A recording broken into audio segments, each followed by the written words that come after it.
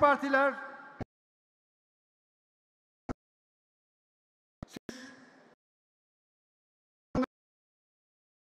siyaseti yeğledik. Uzun soluklu değerli ve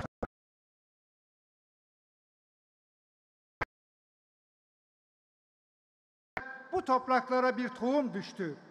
Öyle bir tohum ki derinliklere kadar uzandığı ve geçmişimizin çınar ağaçlarının kökleriyle buluştu. Türk siyasi hayatına, demokrasisine yeni bir nefes aldırdınız. Milletimizle taşların ayak sesleri denen bu kutlu yürüyüşü 3 Kasım 2002'de tescilledi. Bu yürüyüşün önüne engel olmak isteyenler, değişik entrikalar ortaya koymak isteyenler bütün oyunlarını boşa çıktıklarını gördüler. Bu hareketten endişe duyanlar, iç ve dış mihraklar her türlü oyunlarını acımasızca ortaya koydular. Siz Sayın Cumhurbaşkanım Türkiye'yi hak ettiği yere taşıma adına haksızlıklar karşısında gerektiğinde diplomatik nezaket kurallarını bir tarafa bırakarak doğruları, gerçekleri haykırdınız. Maskelerini düşürdünüz. Artık hiçbir şey eskisi gibi olmayacak dediniz. Güçlü bir Türkiye sevdasını milletimize aşılamaya çalıştınız. Demokrasiye, istikrara, güvene ve huzura, kardeşliğe, birlik ve beraberliğe sahip çıkmayı öğrettiniz. Yunus Emre'nin aşkıyla, Şeyh Edibali'nin tevazusuyla, Mevlana'nın hoşgörüsüyle yoğrulmuş bu toprakların bireyleriyiz, evlatlarıyız. AK Partimiz geçmiş, geçmişten geleceğe kadim medeniyetler köprüsüdür. AK Partimiz milletimizin duasıdır. Aktif siyasette ben ne olacağım diyenler hem kendisini bitirdi hem siyasi partilerini bitirdiler. Ülkem ve partim diyenler, serden geçenler umutların meşalesini taşıdılar. Cumhurbaşkanlığı hükümet sistemi Türk siyasi tarihinin yeni bir dönüm noktasıdır. Huzur içerisinde yaşamak ve hayırla iade edilmek istiyorsak rutin bir yaşam tarzının dışına çıkmak zorundayız. Günümüz birbirine eşit olmamalı. Daha neler yapabiliriz bu millet için, bu topraklar için diye sorumluluklarımızı yerine getirmek zorundayız. Ve her gün daha ileri sıçramanın heyecanını taşımak üzere beraberce yeni kongrelerimizle birlikte adımlarımızı atacağız diyorum. Tekrar teşriflerinizden dolayı saygılarımı arz ediyorum.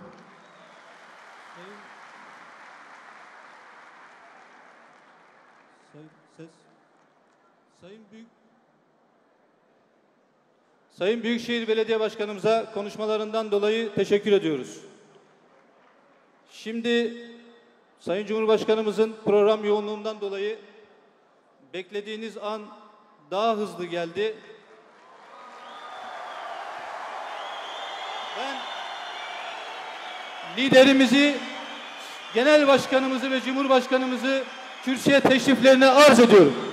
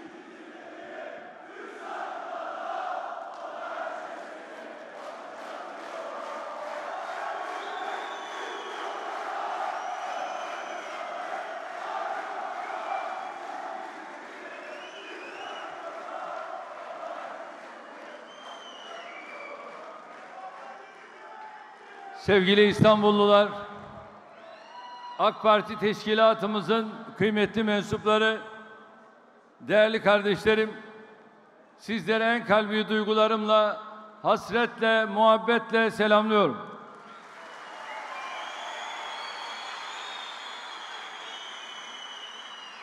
Kuruluşundan bugüne kadar İstanbul'da AK Parti teşkilatlarımızda görev yapmış tüm kardeşlerime en kalbi şükranlarımı sunuyorum.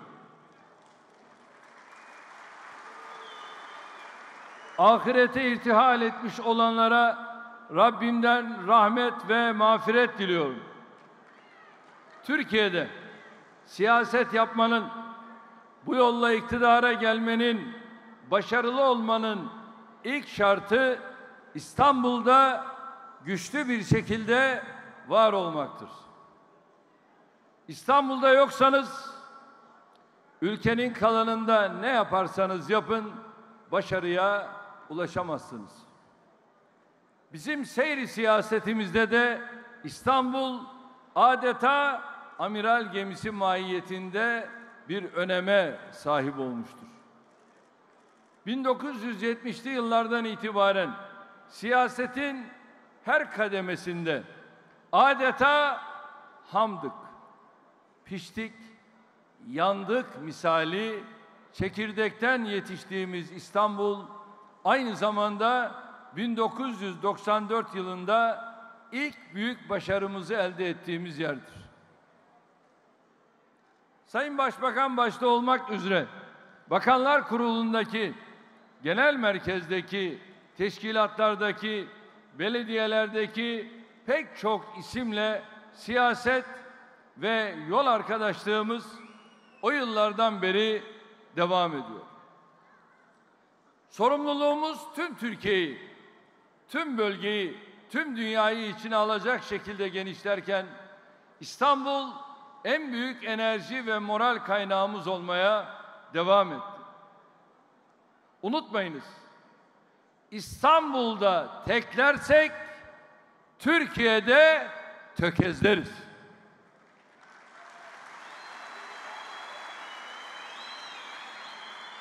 İstanbul'da metal yorgunluğu olursa Türkiye'de paslanırız. Buna karşılık İstanbul'da kıpırdanırsak Türkiye'de şahlanırız.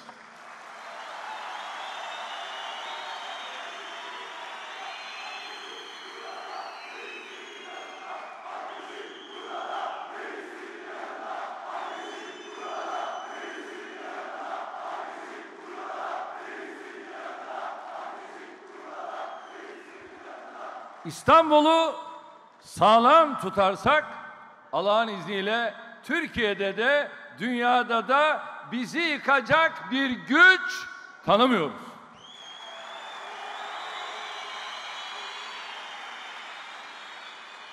Bunun için 81 vilayetimizdeki teşkilatlarımızın tamamı elbette önemlidir. Ama İstanbul bir başka önemlidir. Avrupa Birliği üyesi 28 ülkenin 20'sinden daha büyük durumda bulunan tarihi ve coğrafi konumuyla benzersiz bir şehir olan İstanbul sadece Türkiye değil, bölgemiz ve dünya için de önemlidir. AK Parti İstanbul teşkilatlarında, belediyelerimizde, sivil toplum kuruluşlarımızda görev alan arkadaşlarımızın tüm çalışmalarını işte bu bilinçle yürüttüklerine inanıyorum. Kardeşlerim,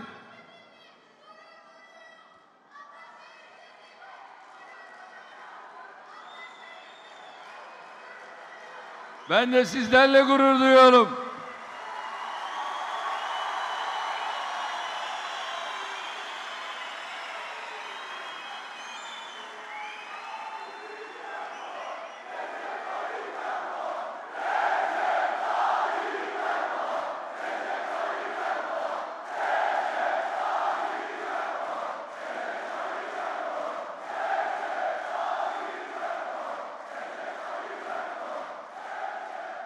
Kardeşlerim, İstanbul'un büyüklüğünü anlamayan hiç kimse İstanbul'a ve AK Parti'ye hizmet edemez.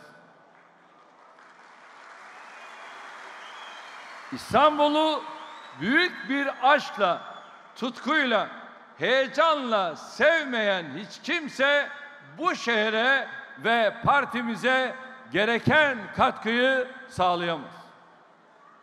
Nisan ayında Yeni Kapı'da yaptığımız mitingimizde İstanbul'u şairlerin diliyle anlatmaya çalışmış ve şöyle demiştim. Sade bir semtini sevmenin bile bir ömre değdiği İstanbul.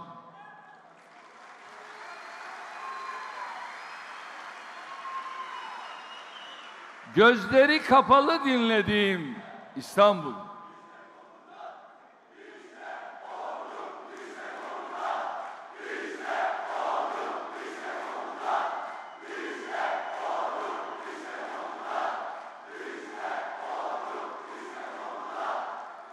Yirmi altısına hazır mısınız?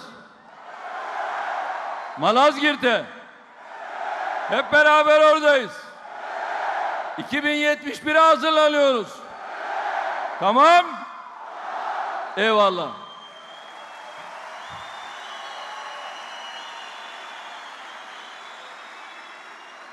Adını göklere yazarsam düşlerimden mehtabının kaybolacağına korktuğum İstanbul. Benim zaman mekan aşıp geçmiş sevgilim, vatanım İstanbul. Güleni şöyle dursun, ağlayanı bahtiyar İstanbul. Bir kanat vuruşunda, bulutlarda, bir süzülüşte vatanımız dalgalarda olduğumuz İstanbul. İki kıtadaki insanlar gibi sarmaş dolaş olacak semtleriyle bizi kucaklayan İstanbul. Sana geldim. İçim ümitlerle dolu. Beni sarhoş etme ne olur dediğimiz İstanbul.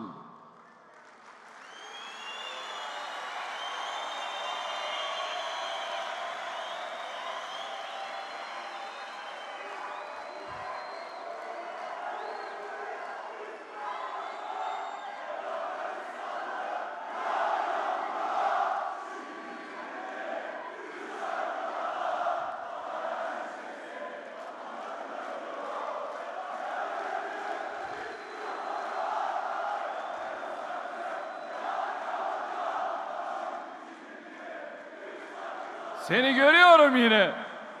Gözlerimle kucaklar gibi uzaktan dediğimiz İstanbul. Rumeli Hisarı'nda oturup bir türkü tutturduğumuz İstanbul. Söze yine sen kazandın İstanbul. Ben yenildim diye başlayıp sonunda yine emrindeyim diye bitirdiğimiz İstanbul.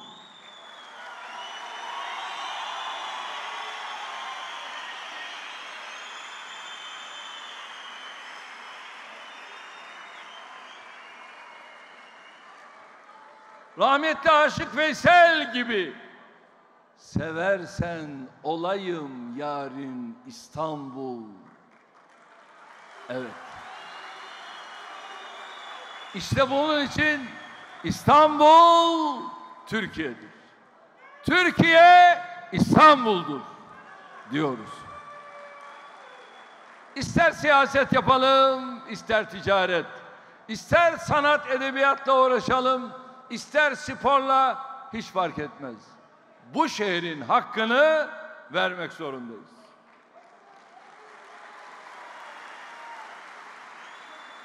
Eğer yaptığımız işi, verdiğimiz mücadeleyi bu şehre uygun şekilde yürütmezsek hedeflerimize ulaşamayız. Şu gerçeği asla unutmayalım. Çalışmamızla, sevgimizle, fedakarlığımızla bu şehre ve insanlarına kendimizi sevdirirsek İstanbul bizi başında taşır, sırtında taşır.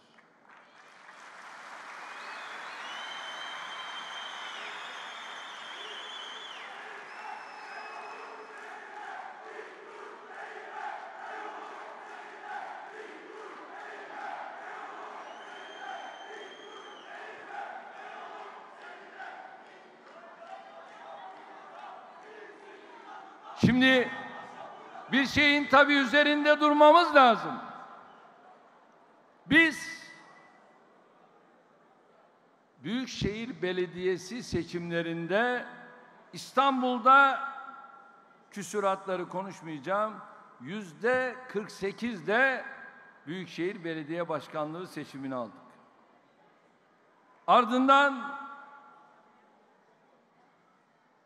halk oylamasında malum İstanbul yüzde 48,65 oyla neticeyi verdi. Tabii biz İstanbul'u böyle görmek istemiyoruz.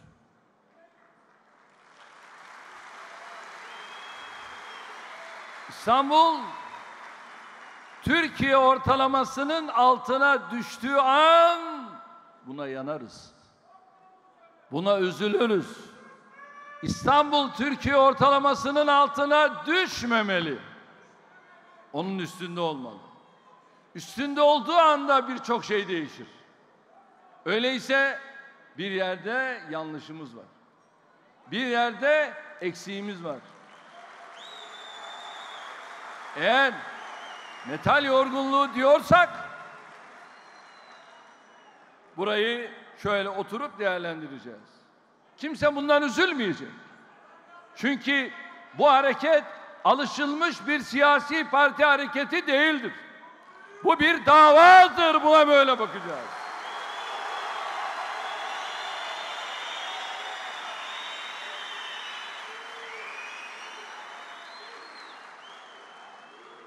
Ve bizim İstanbul'a ihtiyacımız var. Diğer örneklere, diğer alternatiflere baktığımızda görüyoruz ki İstanbul'un bize ihtiyacı var. Öyleyse şehrin en kılcal damarlarına kadar girerek ayak basmadık yer, eline ve gönlüne dokunmadık insan bırakmayarak her taşına hayran olduğumuz İstanbul'u kendimize de rağm edeceğiz. Kardeşlerim, Allah aşkına soruyorum sizlere. Bize kibir yakışır mı? Bize gurur yakışır mı? Gurur Allah'a yakışır. Bize değil. O onun. Bize ne oluyor ki afra tafra yapıyoruz?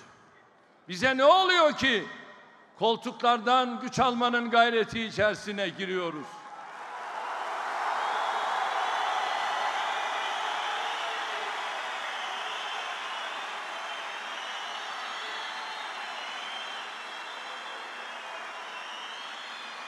İdeal siyasetçi oturduğu koltuktan güç alan değildir. Oraya güç katandır. Bunu böyle bilmemiz lazım.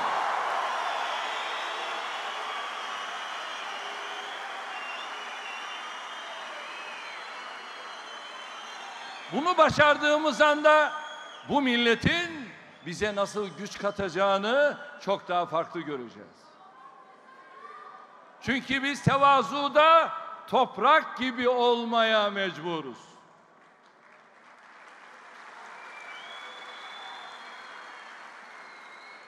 Ve şunu unutmayalım.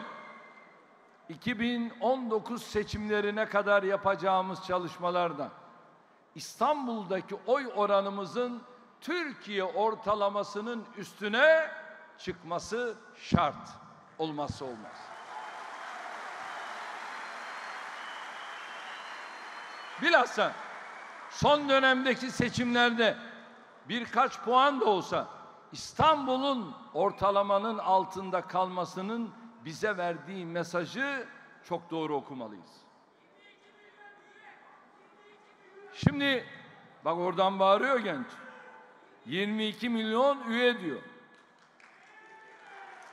Kardeşlerim, kardeşlerim şu anda bizim 12 milyon üyemiz var. Bunu 2 ile çarp 24 milyon. Yani niye 2 ile çarp diyorum?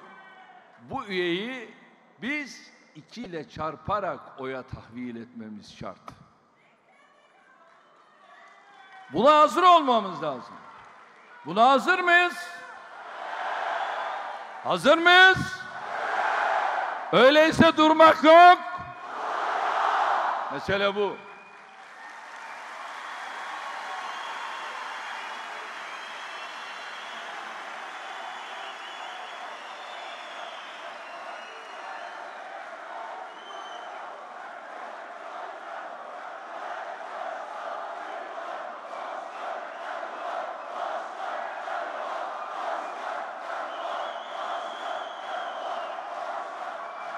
Dün Denizli'deydik. Coşku dolu, heyecan dolu, orada da bir danışma meclisi yaptık. Çok daha büyük bir alanda toplantımızı yaptık. Maşallah coşku yerinde. İnşallah orada da sandıkları patlatacağız. Bir hafta önce Antalya'daydık. Antalya'da 6000 kişilik expo salonunda bir danışma meclisi yaptık. Orası da lebalep doluydu. Orada da coşku, heyecan bir başkaydı. Hemen ondan iki gün önce Malatya'da bir toplu açılış töreni yaptık. Maşallah 70 bin kişinin olduğu bir alanda toplantımızı gerçekleştirdik. Rize güzeldi, Trabzon güzeldi, e, Giresun güzeldi ve hareketleniyoruz. Hareketleneceğiz. Gidilmedik il bırakmayacağız.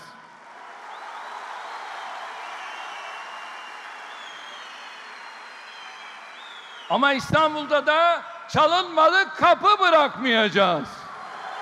Bunu unutmayalım. İstanbul'un bende bir hatırası var. Dün de Denizli'de anlattım. Zaten bilirsiniz. Hanım kardeşlerim bana dediler ki 94 seçimine girerken Başkanım biz bir şey düşündük dediler. Ne düşündünüz dedim. Dediler ki kapıları çalıyoruz. Gidiyoruz. Bir şey verelim. Ancak işte bir broşür veriyoruz. Ama biz bir şey düşündük. Ne düşündünüz? Bunu bana söyleyin. Dediler ki biz bir fincan kahve hediye etsek. Üzerinde de şu yazsa. Bir fincan kahvenin 40 yıl hatırı var. Öbür tarafında da o zamanki partimin amblemi ve ismi var. Dedim hay hay gayet güzel düşünmüşsünüz. Ve çaldıkları her kapıya o ufak torbacı, kahve torbacığını hediye ettiler. Bir fincan kahvenin 40 yıl hatırı var. Kadın kollarımız işte bunlara hazır olacağız. Yeşil kolları işte dinamik olacağız. Ana kademe aynı şekilde kucaklayacağız, böylece ayağa kaldıracağız.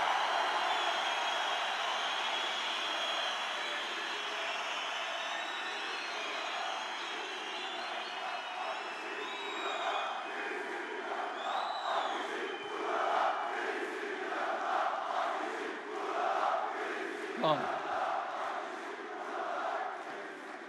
Ülkemizin dışarıdan ve içeriden maruz kaldığı saldırıların mücadelenin şartlarını zorlaştırdığını elbette biliyoruz. Bizim de bu şartlara uygun şekilde kendimizi yenilememiz, güçlendirmemiz, geleceğe hazırlamamız gerekiyor. Bu ihtiyaç aynı zamanda milletimize ve ülkemize karşı sorumluluklarımızı yerine getirebilmemizin de şartıdır. Sürekli aynı şeyleri yaparak her defasında farklı sonuçlar elde etmeyi beklemek akıl kârı değildir. Bölgesel ve küresel bir güç olma yolunda ilerleyen, orta gelir tuzağına düşmemek için uğraşan Türkiye'nin bu değişime ihtiyacı var. Bunu gerçekleştirecek olan ise ülkemizi hedeflerine ulaştırma sorumluluğu üstlenmiş olan bizleriz. Yani AK Parti kadrolarıdır. Biz kendimizi yenilediğimiz ölçüde ülkemizin siyasetini, ekonomisini, dış politikasını, güvenliğini, yatırımlarını daha da ileriye taşıyabiliriz. Bayrak yarışı olan bu hizmet nöbetini İstanbul'da da yeni arkadaşlarımızla güçlendirerek sürdürmekte kararlıyız.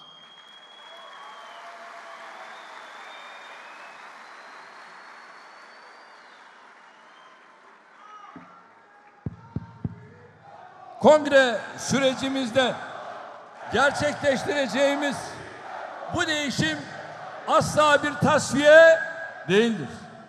Bizim siyaset terbiyemizde vefa çok önemlidir. Ülkesine, şehrine, partisine hizmet etmiş hiçbir arkadaşımızın emeğini, gayretini, fedakarlığını unutmadık, unutmayacağız. Kendisi yolunu şaşırıp başka mecralara yönelmediği sürece her arkadaşımızın bizim gönlümüzde ve yanı başımızda yeri vardır. Bugün teşkilatta, yarın bir başka yerde, bir başka görevde arkadaşlarımızla beraber çalışacağız. Bunun hem teşkilatlarımızda, hem belediyelerimizde, hem mecliste pek çok örneği var. AK Parti'de davasına, ülkesine, milletine, partisine sadakatle bağlı olan herkesin önü sonuna kadar açıktır. İş çok. Yapacağımız şeyler çok. Üstad ne diyor? İnsandır sanıyordum. Mukaddes yükü hamal. Hamallık ki sonunda ne rütbe var ne de mal. Yalnız acı bir lokma zehirle pişmiş açtan ve ayrılık anneden, vatandan, arkadaştan. Evet, önemli olan hiçbir rütbe ve mal beklemeksizin bu mukaddes yüke hamal olmaya talip olmaktır. Vatandan güzel ne olabilir ki? Öyle mi? İnsanoğluna hizmet etmekten daha güzel ne olabilir ki? Bu erdemle hareket etmeyenler kendileriyle birlikte davalarına ve partilerine de zarar verir. Eski Türkiye partilerinin alışkanlıklarının, hastalıklarının, zafiyetlerinin AK Parti'ye sıçramasına, sıçratılmasına asla izin vermeyeceğiz. Bugüne kadar partimize hizmet etmiş arkadaşlarımızın da bundan sonra görev alacak arkadaşlarımızın da bu bilinçle hareket ettiklerini biliyorum. Kongre sürecimizde gerçekleştireceğimiz değişim kendimizi tazelemenin yanında işte bu vasfımızı güçlendirmemize de vesile olacaktır. Kardeşlerim, zaman zaman kamuoyunda, medyada, partimiz içinde kesinlikle arzu ve tasvip etmediğim tartışmaların yaşandığına şahit oluyoruz.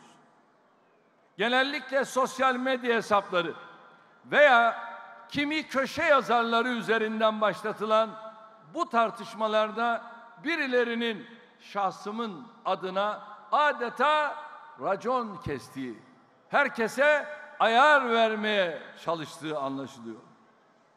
Burada bir kez daha açık ve net olarak ifade ediyorum. Benim milletimle, partimle paylaşacağım bir düşüncem, bir teklifim, bir hissiyatım varsa bunun yolları bellidir.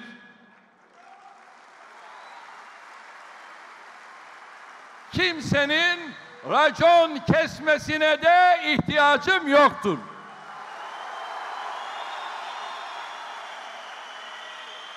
Eğer racon kesilecekse bu raconu bizzat kendim keserim. Bu da böyle bilinmeli.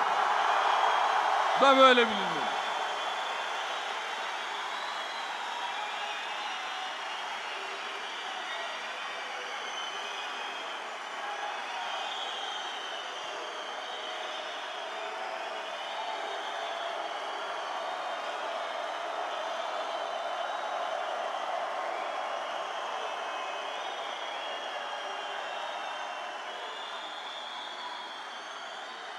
Kongre sürecimiz gibi mahrem sayılabilecek bir konuyu bile parti teşkilatlarımızda yaptığımız toplantılarda tüm milletimizin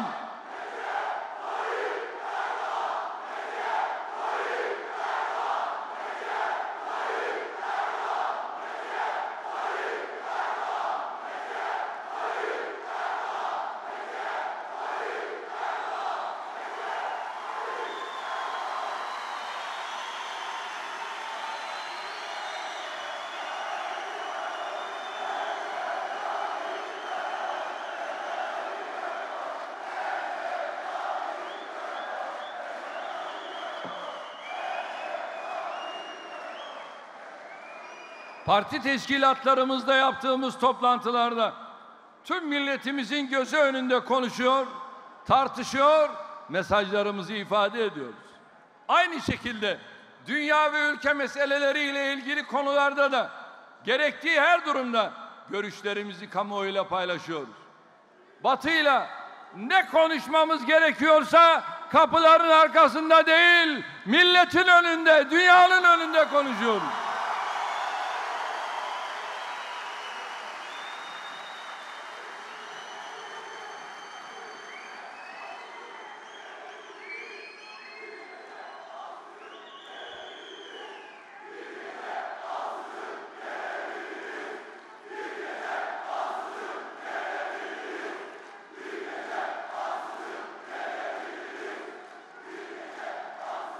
Eyvallah.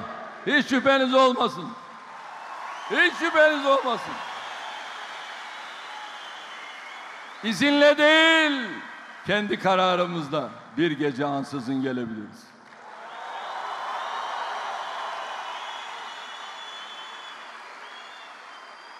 Kardeşlerim, Cumhurbaşkanlığı ile ilgili hususlarda Cumhurbaşkanlığı sözcümüz, hükümet meselelerinde başbakanımız ve hükümet sözcümüz, parti ile ilgili konularda da parti sözcümüz gereken açıklamaları yapıyor. Şahsımın ve sözcülerimin dışında yapılan hiçbir açıklamanın benimle ilgisi yoktur. Partimle ilgisi yoktur. Efendim şu köşe yazarı şöyle yazmış. Şu köşe yazarı böyle yazmış. Şu köşe yazarının işte Cumhurbaşkanı ile şöyle dostluğu var. Hiçbirisi beni bağlamaz. Bunlara da ihtiyacım yok. Ben zaten konuşuyorum ya. Bunlara gerek yok ki. Ben derdimi anlatmaktan aciz de değilim. Yeri geldiği zaman bunları anlatıyorum. Anlatmaya da devam edeceğim. Hele hele başkalarının adına açılmış sosyal medya hesapları ve köşe yazıları gibi mecraları aracı kılma alışkanlığım kesinlikle bulunmuyor. Bu da böyle biline. Herhalde dünyada benim kadar şeffaf olan, benim kadar açık konuşan, benim kadar görüşlerini net ifade eden bir başka lider var mıdır? Onu da pek bilmiyorum.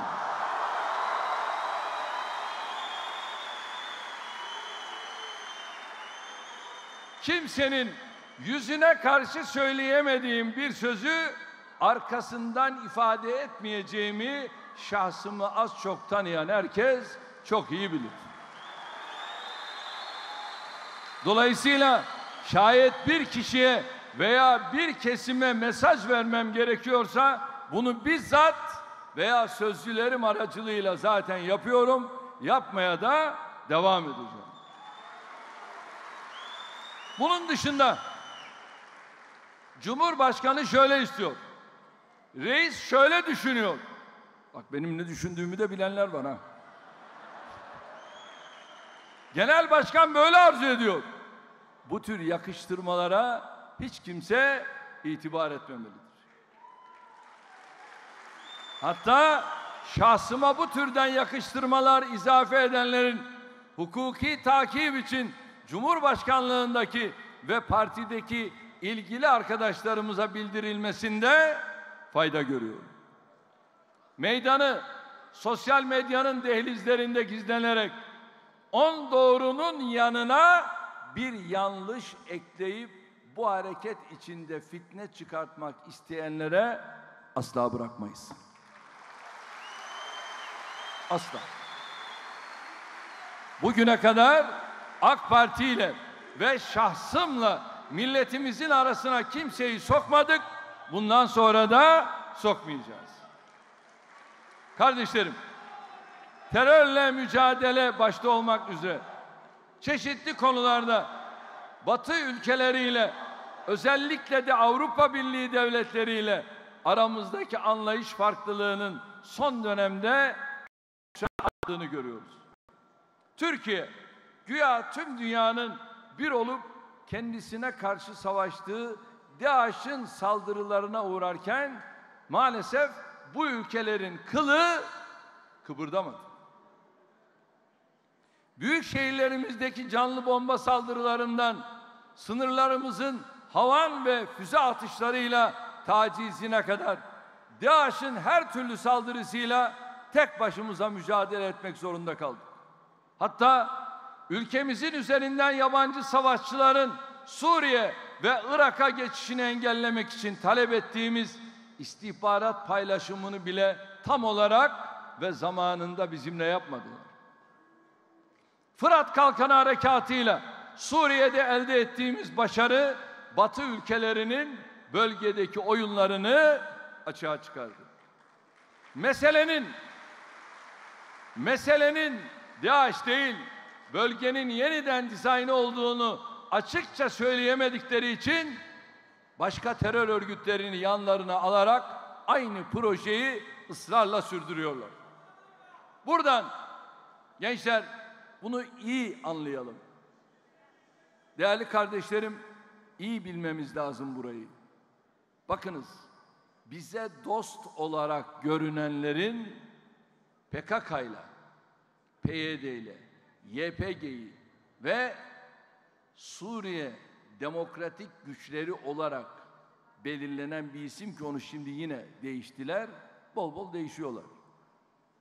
Ve artık adı her ne olursa olsun kurulmuş veya kurulacak tüm örgütlerin aynı yapı olduklarını çok iyi bildikleri halde gözümüzün içine baka baka bu dost görünenler bize yalan söylüyorlar.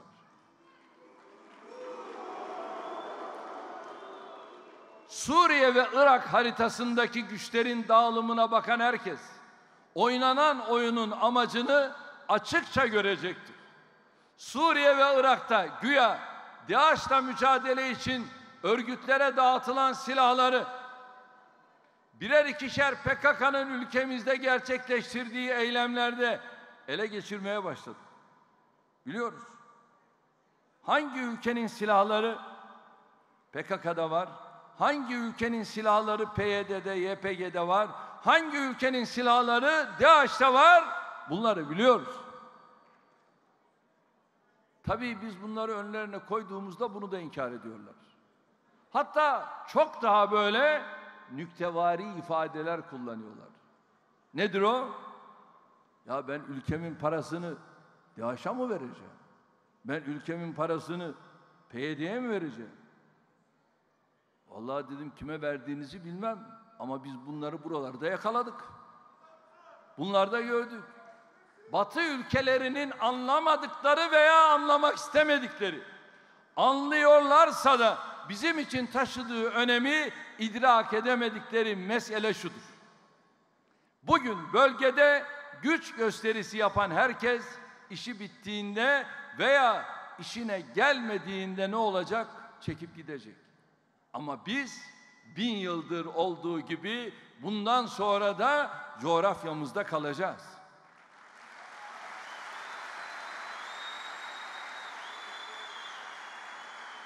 Onlar gittiğinde sınırlarımız boyunca kurulan terör yapılarıyla uzun ve kanlı bir mücadeleyi verecek olan bu ülkeler değil. Kim? Türkiye. Türkiye.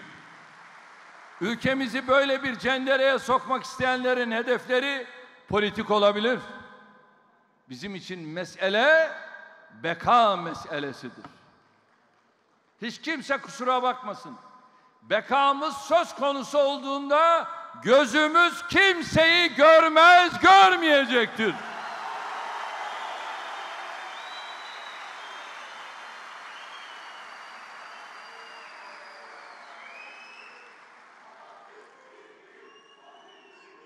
İttifakmış, müttefikmiş, diplomasiymiş, ticaretmiş, istiklalimizin ve istikbalimizin tehdit altında olduğu yerde bunların hepsi de hükmünü yitirir. Bu böyle bilinmelidir.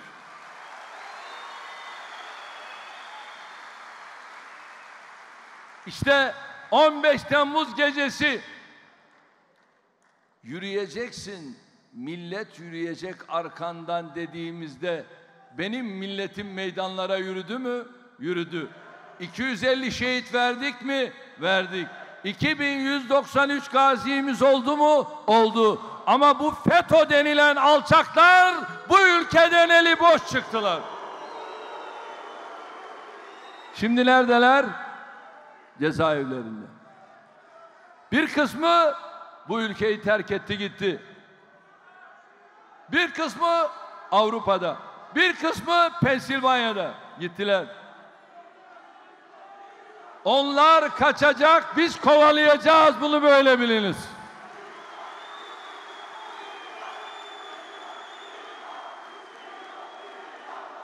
Kardeşlerim, ha PKK, ha FETÖ. Ha DAEŞ, ha FETÖ. Hiç bunların birbirinden farkı yok. Al birini, vur öbürüne. Bu ihanet çetesi Türkiye'nin demokrasisine, varlığına, birliğine, geleceğine saldırmıştır. Milletimiz tek yumruk. Evet Allah. Bu ihanet çetesine geçit vermemiştir. Dünyanın hangi ülkesinde böyle bir teşebbüs olsa inanın bana gerçekten çok kötü sonuçlar ortaya çıkardı. Türkiye başka hiçbir ülkenin yapmayacağı bir şekilde FETÖ'yle mücadelesini hukuk devleti içerisinde uluslararası güvenlik, hukuk ve adalet kriterlerine uygun şekilde yürütüyor. Yakın zamanda bunları özel hazırlanmış tulumları içerisinde göreceksiniz.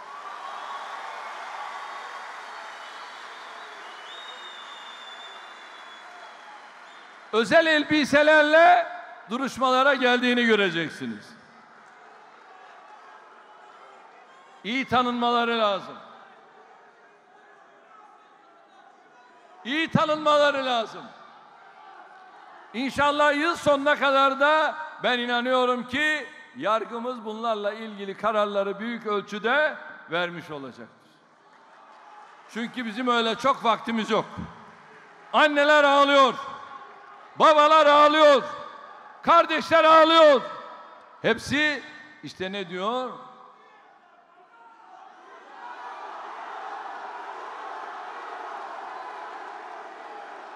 Süratle adım atacağız. Bütün bunlara rağmen ülkemizin terör örgütleriyle mücadelesi üzerinden tehdit edilmesi, doğrudan varlığımıza, birliğimize, egemenliğimize yönelik bir saldırıdır. Böyle bir saldırının içinde olan hiç kimse masum değildir. Bu ister ülkemizdeki bir siyasi parti olsun, ister şu veya bu uluslararası kurum olsun. Hiç fark etmez. Herkesin maruz kaldığımız saldırılar karşısında 80 milyon hep birlik olup biz ayıtleştik. Buna varız değil mi? Bunda bir sıkıntımız yok.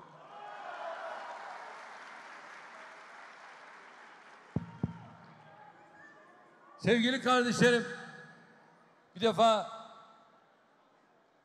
şunu karar altına alacağız. Bu da nedir? Biz 80 milyon tek millet olduk mu? Türküyle, Kürdüyle, Lazıyla, Çerkesiyle, Gürcüsüyle, Abazasıyla, Boşnağıyla velhasıl 80 milyon tek millet olduk mu? Yetmez. İki, biz tek bayrak olduk mu?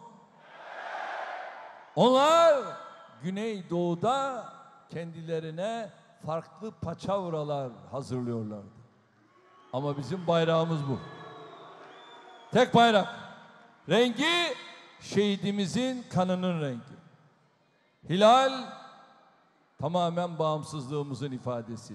Yıldız şehidimizin ta kendisi. Ve bayrağımıza eş asla. Üç, tek vatan. 780 bin kilometre kareyle Türkiye tek vatan. Bunlar ne yaptılar? Güneydoğu'yu, Doğu'yu, hatta İç Anadolu'ya doğru bölme operasyonlarına girdiler. Böyle bir şeye bizim müsaade etmemiz mümkün mü? Neredeyiz Kabar'da? Neredeyiz Cudi'de? Neredeyiz Tendürek'te? Neredeyiz Besler Deresi'nde? Neredeyiz Küpeli'de? Oraları bunlara mezar yaptık, mezar. Mezar yapmaya da devam edeceğiz. Çünkü bütün bu şehitlerimizin bedelini bunlar ödeyecek. O ağlayan annelerin işte Lice'de, işte Özalp'taki iki tane biliyorsunuz bizim başkan yardımcılarımızı şehit etmişlerdi. Bak dördü de öldürüldü. Aynen gebertildi dördü de. Çünkü biz onların bedelini bunlara ağır ödeteceğiz. Biz bu kardeşlerimizin evlerinde 20 yıl önce, 25 yıl önce oralarda siyasi çalışmalara gittiğimizde onların evlerinde kaldık. Yer yataklarında, kerpiç evlerde onlarla beraber kaldık. Yola öyle çıktık. Ve şimdi de beraber yürüyoruz. Kadere bak. Kaderin üstünde bir kader vardır diyoruz ya. İşte bu. Ve biz buna aynı kararlılıkla devam edeceğiz. Ve dört, dört tek devlet.